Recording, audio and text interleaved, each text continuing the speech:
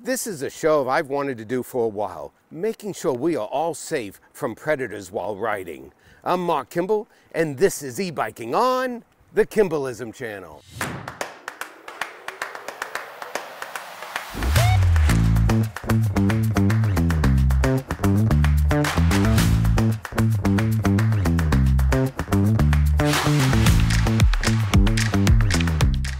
Staying safe while cycling on rail trails and main roads is important for anyone, regardless of gender.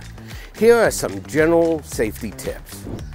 Choose a well-lit and busy route whenever possible. Avoid isolated areas or poorly lit paths. Research on the web if any issues or violence on the trails or areas you're planning to ride. If possible, ride with a companion or join a cycling group. There's safety in numbers, and having someone else with you can deter potential predators. Stay alert and vigilant. Keep an eye on your surroundings, including people, vehicles, or any potential hazards. Try not to wear AirPods or headphones, which can cut off your hearing and you won't be aware of your surroundings. If you feel uncomfortable or a sense of danger, trust your instincts. Take necessary precautions. It's better to be cautious than to put yourself at risk. Stick to popular and well-traveled paths. Avoid secluded areas or shortcuts that might be less frequented by others.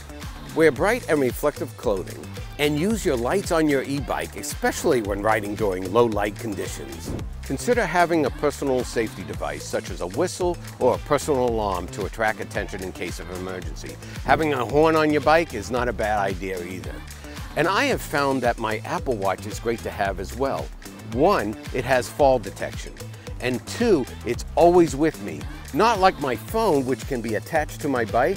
If someone came out of a hidden area and pushed me off my bike, I can quickly reach for my watch and send an SOS by just swiping.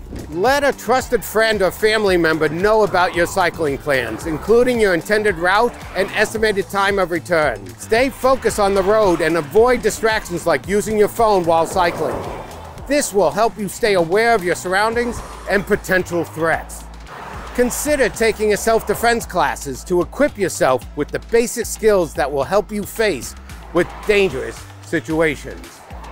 Remember, personal safety is a priority and it's essential to take precautions and make informed decisions while riding. I hope you've gotten something out of this and that we all stay safe while we're riding. Thank you so much for watching and your support and subscribing and of course your feedback. I'll see you on the roads and trails. Be safe.